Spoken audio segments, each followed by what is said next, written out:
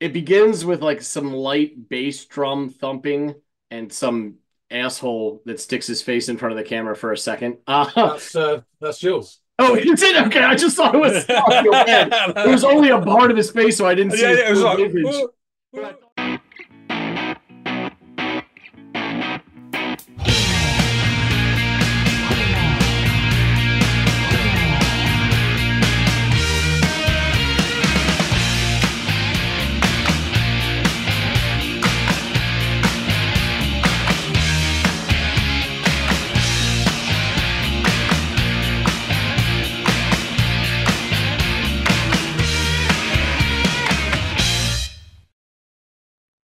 Everybody out there, welcome back to another episode of the Audiophiles. I'm Andy, that's John over there, and we exchange and discuss music here on this channel. So it is John's turn to offer up something for me to go off and listen to, react to, take notes on, and then come back and discuss with him. Uh, but in order to do all of that, as you can imagine, I'm going to need to know the name of the band and the name of the track. So, John, would you be so kind as to offer those to me, sir? Okay, something a little different from the channel, as folks who are already watching this know from the title, wherever it is, somewhere around there. Somewhere. I can't remember. Um, so yeah, this is a band Faithless. Okay. The track is called Insomnia, and this is a live performance on later with Jools Holland. Okay. So of all the shit you just mentioned, later with Jools Holland is the only thing that I have any familiarity with. That's your Um, comfort blanket there. Yeah, yeah, exactly. Okay. Well, I'm sure it'll be an interesting performance, probably a very good one because the- Jools is known for only having those on his on his show. So, um, let me go off, give it a watch, give it a listen, and then I will come back and let you and everyone out there know what I made of it.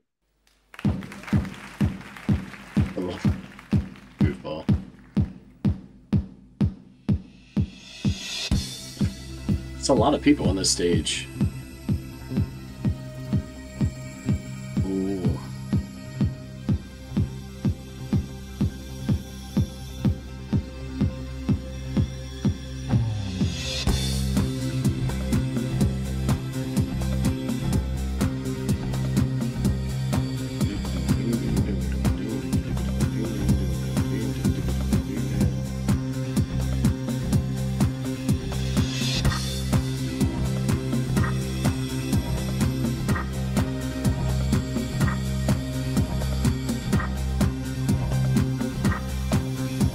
Liking all this texture. Even more.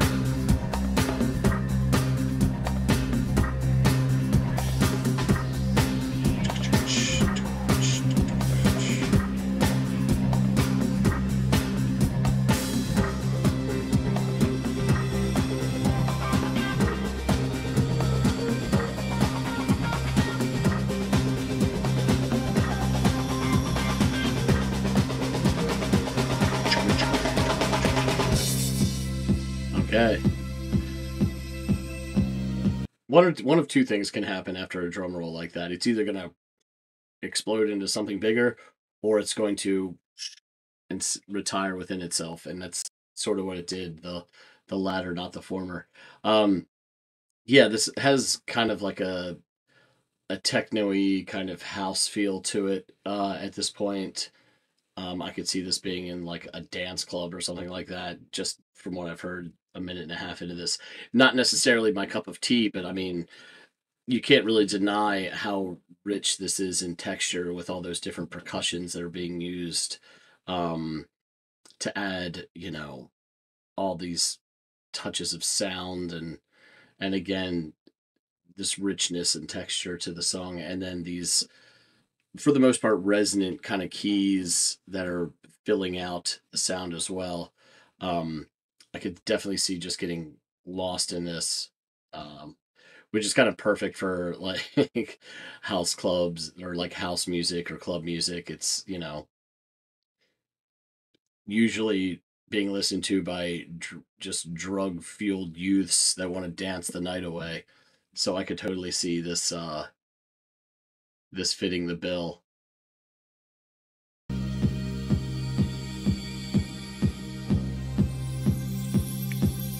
That's that twin. Oh man, there's ch- the chimes. Oh. I only smoke weed when I need to, and I need to get some rest. Yo, where's the cess? I confess I burned the hole in the mattress. Yes, yes, it was me.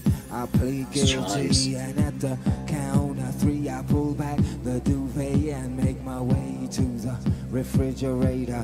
One dry potato inside, no light, not even bread, jam. When the light above my head went, uh, I can't sleep. Something's all over me, greasy. Insomnia, please release me and let me dream about making mad love on the heath. Tearing off tights with my teeth. But there's no relief, I'm wide awake and in my kitchen. It's black and I'm lonely. Oh, if I could only get some sleep. Creaky noises make my skin creep. I need to get some sleep. I can't get no sleep.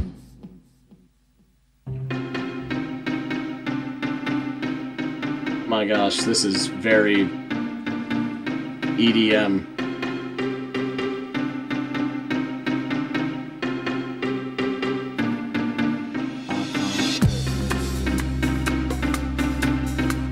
I must feel like I've heard that melody before. That, that, that very stabby.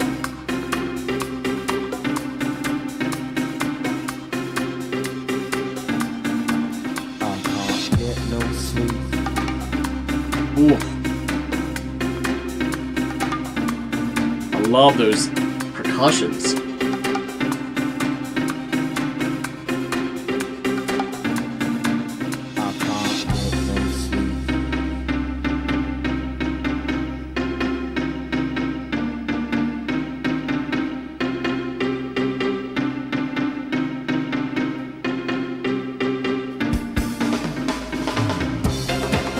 Ooh.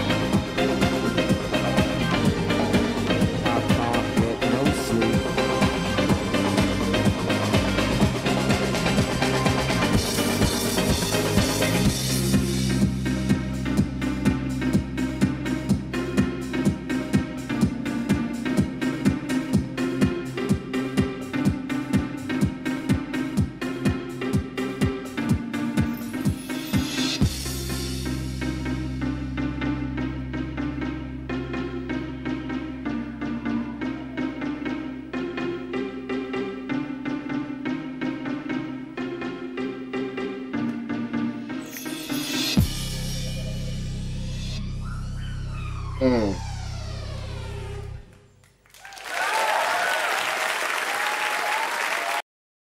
Mm.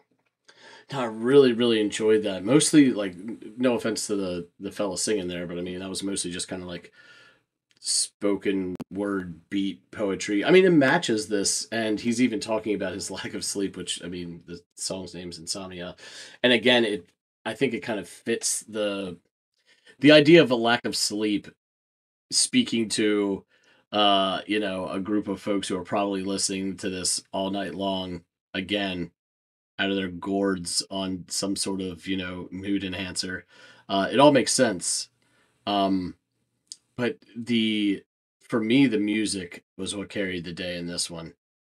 Um some really interesting like bass stuff in the beginning just kind of like carrying that but also all of these like auxiliary percussion instruments, hand drums, the the drum set proper, all of that added so much beautiful like texture, like the, the tinkling of the the chimes, um, that little splash cymbal that your man on the drums was using, those hands, just the the clicking and really interesting pitch to all those hand drums that were going on. Loved that. Loved that. And then that like earworm of a goddamn melody that's being played on those keys. Um was really intoxicating as well. Again, you know, this isn't I don't I'm not a big fan of a lot of EDM uh or like, you know, club music, house music, whatever you want to call it or however you want to describe it. Uh but this was a lot of fun. I could see this song being played on like a 40 minute loop in a club and people just like zoning out to it. This is kind of cool just to get like a, you know, a small um taste of it a- and to be able to see it performed live was really interesting as well. Yeah. Yeah, I really really enjoyed this. I mean, it makes sense. I mean, Jools pretty good about only bringing good bands who provide good performances on a show. Um and I would say that this is one of them and definitely fits the bill. Yeah, I don't know much about Faithless. Um I've got more experience with Insomnia uh than I do this band Faithless. But yeah, I would love to learn more about them and see what John has to say about them. So, let's get back to him. Of Lionel Cybus, he's back. So you had a uh, listen to uh, Insomnia live on Jools later. Holland rearranged those words into a sentence by Faithless. Um, what did you make of it all? Um, I, I, I, of course, it was a really fun performance to watch. Um, because as I mentioned, it's Jools Holland. Uh, but yeah, this is certainly, and I think you, you kind of alluded to this when you introduced the the episode earlier on the other side, where you were like, "Oh, a little something different for the channel here." This is something different for me, for sure. There's not a lot. I'm not going to say like my tastes are impervious to the um, you know things that fall under the category of house music or EDM or any of that. Uh, but I am I don't often uh, you know put myself in a position where I'm listening to it a lot. So as you can imagine, this isn't something that I would normally flock to. But it was all yeah. You as well? Is that Yeah. what you're using it? Just to say, I'm I'm of the same. I'm of the same boat. yeah. Um, but having said that, there are some songs that sort of surpass their their, their own genres. yeah. know. Yeah. Yeah. Um, and there's a few, I for for a, for a large part couldn't stand the acid house movement. Couldn't stand most of the house music that ripped off what I would call acid jazz and stuff like that. Mhm. Yeah, not my thing at all. But there are some tracks, you know, and there's some artists that just, you know, raise themselves above it. And I would put, you know, things like Chemical Brothers in there Yeah. and Prodigy and stuff like that. Now, the original version of this was all electronica. And I wouldn't have given you that. And I probably wouldn't have listened. I mean, I would have listened to it perhaps, but not really enjoyed it. But the, this very performance using organic instruments is what I think raises it to something that makes it very interesting musically. Yes. So that's why I gave it to you. and that is why I enjoyed it. So There you you were spot on in your decision making there.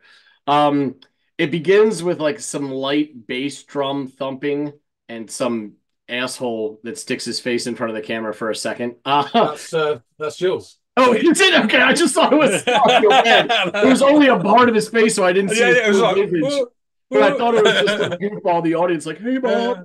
so, it was okay, Jools. can, Yeah, Jools can do whatever he wants. yeah, it's a show.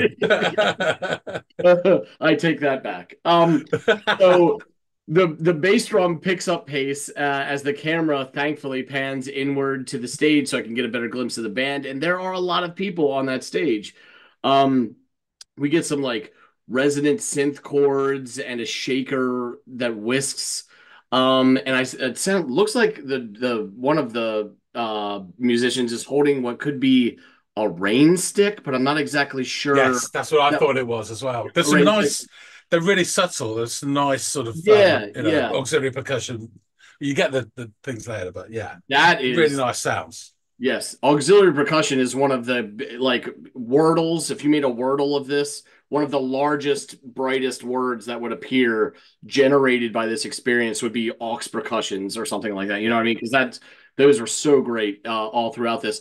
But there's some really cool bass work happening here as well um, that I that I enjoyed a lot too here in the beginning. And then we get these hand drums that join the mix, and the drummer starts to incorporate his full set into the song. um, which now has pace and more rhythm to it. Also, there are like fucking textures abound starting to blossom here. Um, and so all, as all these instruments are coming in, that it's becoming fuller in sound, and a lot of that texture is coming from the aforementioned auxiliary percussions. All of the friction and the lush cascading sounds, and yeah. all of that, like the chime work that you get through, uh, later in the song, is all like so great. I loved it. I loved it. I loved it.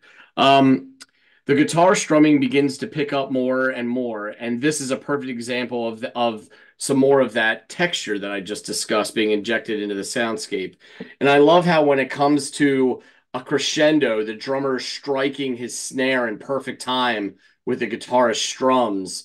Um, and I and I mentioned this in the reaction that that motif, that sort of mechanism of syncing those up, usually connotes one of two very different things. It's either about to explode into something or it's about to fall off or into itself. And in this case, it's the latter and not the former. Like it, it falls inward, it sort of collapses on itself.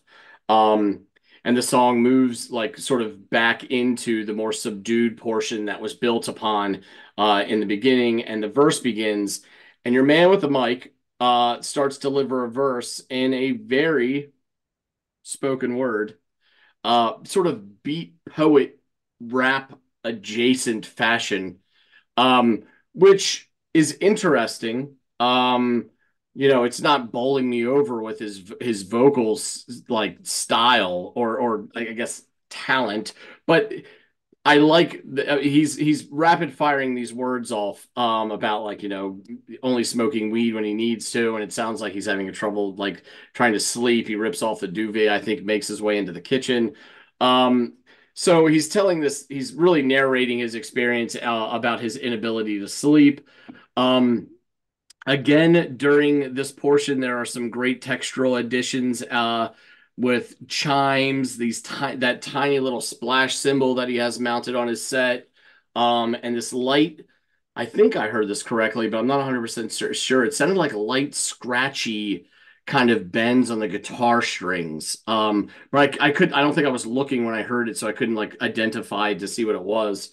Um, just as he delivers the line about how he can't uh, get no sleep, the music cuts out briefly, and then the short bit of silence is punct- is punctured by the sound of a stabbing keynotes playing this techno like melody. Uh, and holy shit, this thing's a fucking earworm, man it made me wish that I was on whatever, like, you know, the the ketamines, the ecstasies, the whatever is being ingested to make this to enhance that sound because I can only imagine that when this song is played or the when you're under the influence of any of those drugs, what you want to do is hear this song for 30 or 40 minutes straight, just going, just pounding away. Yeah. I'm glad because I was sober that this was, you know, all we got. Uh, but I was just trying to put myself in the shoes of those who gravitate not only to this song but to the the environment that is best catered for, right? You know what I mean? So I'm thinking, oh yeah, I bet when they put this shit on, it lasts at least 15 minutes. Um, so yeah, the, this motif is built is built on, and there's some more excellent percussion work, and the other keyboardist joins in while the singer maintains uh, his his uh, narrative about his inability to get sleep. Uh, and then things kick off, and we get this driving full sound that has so much energy to it. But counter to that is this very drowsy delivery of the singer, uh, again maintaining that he can get no sleep, which makes sense given the name of the track. Uh, the song ends with more of that main key motif that is enhanced by some stellar percussion work uh, before it finally wraps up and comes to its completion.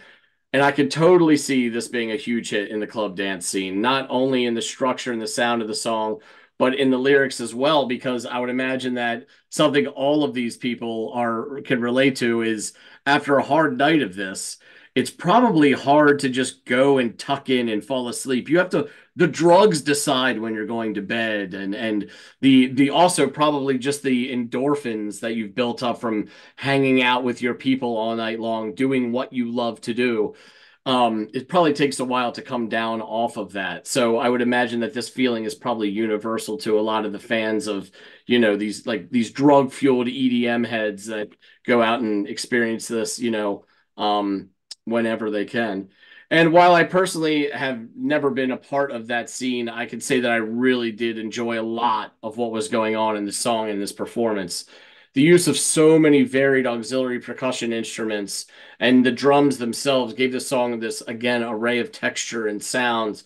And the key work was just an absolute earworm that wrapped itself around my brain and really didn't let go. And i can imagine that that melody line that stabby keyboardy line that i believe the young woman is playing is going to live between my ears for quite some time but yeah i, I really enjoyed this yeah, it's something different, isn't it?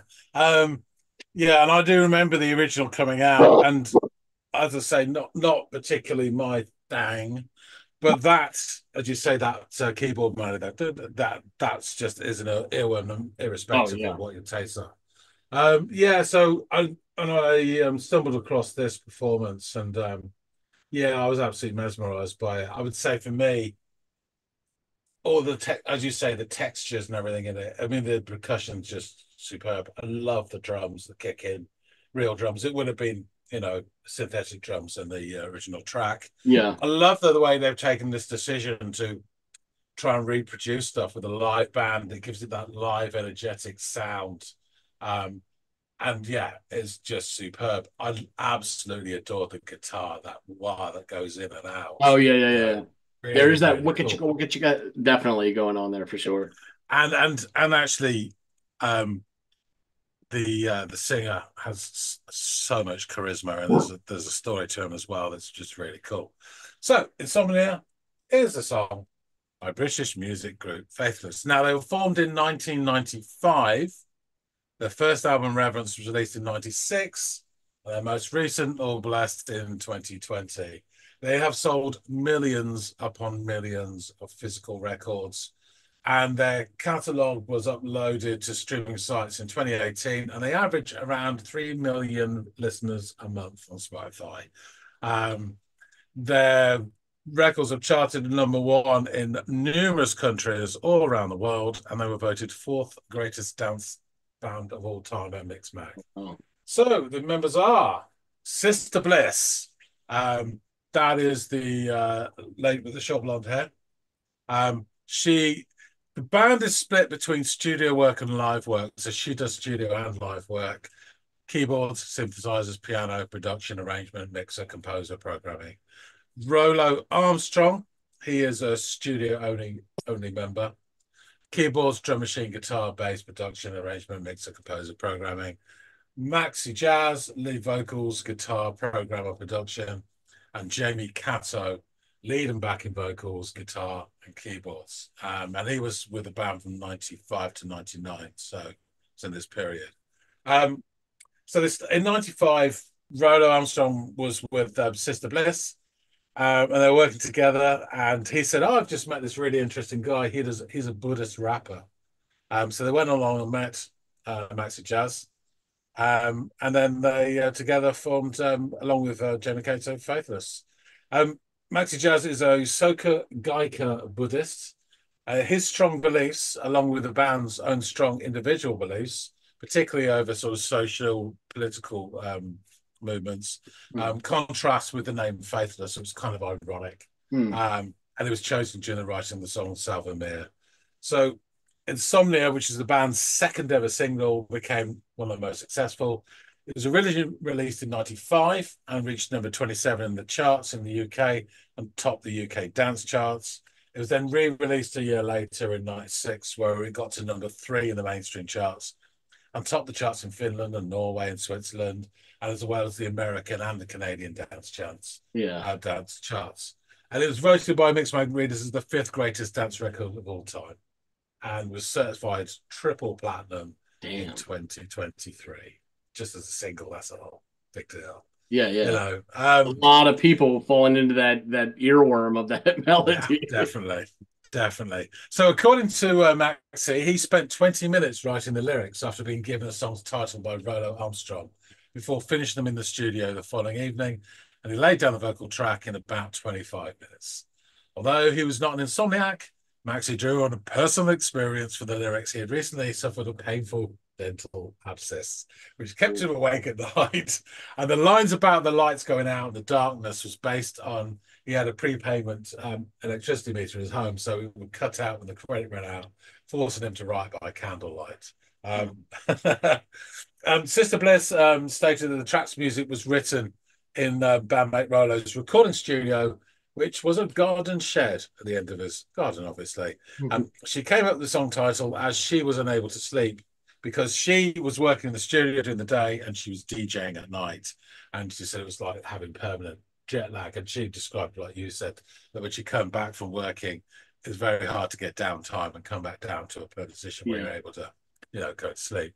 That So, was um, I, I used to bartend, and that was always what happened. I could get off at three o'clock in the morning. I wouldn't fall asleep till five thirty or six because you just have to come Yeah. down.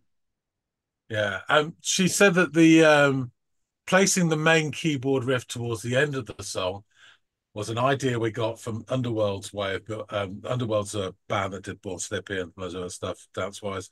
It was their way of building tension, just waiting, waiting, waiting, then bang.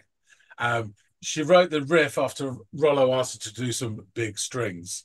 Um, and she borrowed the idea of shifting from a major chord to a minor chord from Donna Summer's I Feel Love. So Oh, there you go. we are. Um, so here are the lyrics. Um, and actually, I I love the way he delivers this, but you know, I'm more familiar with it. yeah, I only smoke weed when I need to, and I need to get some rest. Yo, where's the cess? I confess, I burned a hole in the mattress. Yes, yes, it was me. I plead guilty. And at the count of three, I pull back the duvet. I make my way to the refrigerator. One dry potato inside, no lie, not even bread. Jam when the light goes above my head went bam. And of course, it goes simple at that point. I can't sleep. Something's all over me, greasy. Insomnia, please release me and let me dream about making mad love on the heath, tearing tights off with my teeth. Uh-huh. But there's no relief. I'm wide awake in my kitchen. It's black and I'm lonely. Oh, if only I could get some sleep. Creaky noises make my skin creep. I need to get some sleep. I can't get no sleep. Do, do, do, I put my notes keyboard anthem. Do, do, do. I can't get no sleep. Do, do, do, do, do, do. Can't get no sleep. I can't get no sleep. Full band kicking. Do, do, do, do, do. Can't get no sleep. Can't get no sleep. And off we go. So there you go. So yeah, they were one of the pioneers of what you would call like stadium dance music, as opposed to Mm. club.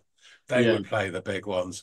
They headlined some of the biggest festivals in the world, including they're on the Pyramid stage at Glastonbury in 2002. So yeah, big deal. They were nominated for Best UK Dance Act at the Brit Awards in 99 and 2002. Um, the band actually split in 2011, um, but they returned to release a new uh, studio album almost a decade later in 2020 during the COVID pandemic. But they weren't bought, uh, joined by Maxi Jazz because he'd formed another band during the hi- hiatus called Maxi Jazz and the E-Type Boys.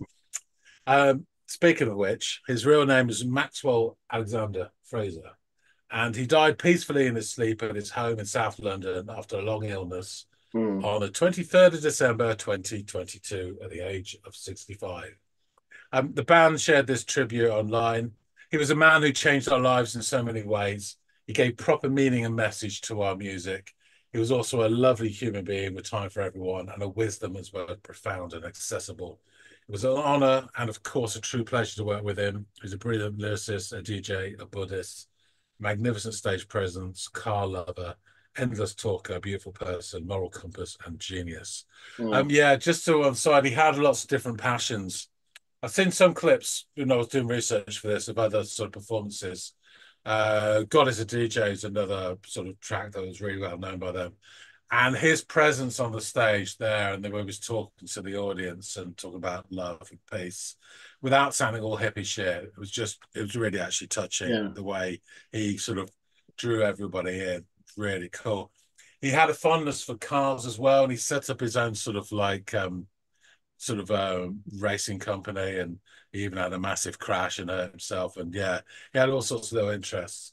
But um, so in, in May 2023, the Holmesdale Fanatics, who are a supporter group for his football club, Crystal Palace, that he supported, they veiled their tribute to Jazz with a full stand tifo. That's the tiled display. You know, every member holds up a little mm. tile and it shows a big picture. So it's a full stand tifo display of his face, the largest ever seen in English football, alongside the lyrics from God is a DJ. And it read, This is our church. This is where we heal our hurts, which is the sort of chorus of that song. Uh-huh. Um, which is really cool. So Faithless's eighth studio album, Champion Sound, is due to be released later this year. They've already released two singles in July and August. Um, in April 24 this year, Faithless stated, Maxi died just over a year ago, and obviously we miss him every day. Thank you for all your kind words support over the last year. It has really, really meant a lot. In the meantime, we've never stopped, brackets, couldn't stop, never wanted to stop, and brackets, making music. Even during Max's long illness, we recorded and released All Blessed. And now, finally, eight years after our live performance, we're returning to festival stages. So they will be out mm. about later in the year, which is cool. As I say, I'm not like a big fan of them. Um, it's not particularly my music, but I do think this is a sort of anthemic sort of dance song, and the way this forms with the you know the traditional instruments just gives it a really sort of all-encompassing sound. I think it's really cool. Yeah, so there you go. Something a bit different for the channel as well. Of course, of course. Well, it was a nice yeah, change of pace. I really enjoyed it, man. And this cool, the, he sounds like an amazing fella too. I mean, that's yeah, just yeah. a really interesting story. Uh, and and it's a shame when someone who's that pure as a and hu- as a human it has to leave um a bit early, you know. Yeah, I didn't write this down, but they did lots of work with charities, particularly homeless uh, charities as well. They got into sort of social political movements as well, championing different causes some refugee stuff as well. So yeah, they're all around sort of good guys. Uh, yeah. you know, which is nice. Um, so yeah, just an interesting one. And um, well, I'll wrap things up. Say thanks Ooh. for listening to this, Thank folks you. out there. Tell us what you think. Have you ever suffered from insomnia? Um, I don't want to know about just about ripping off the tights and all that. Keep that to yourself.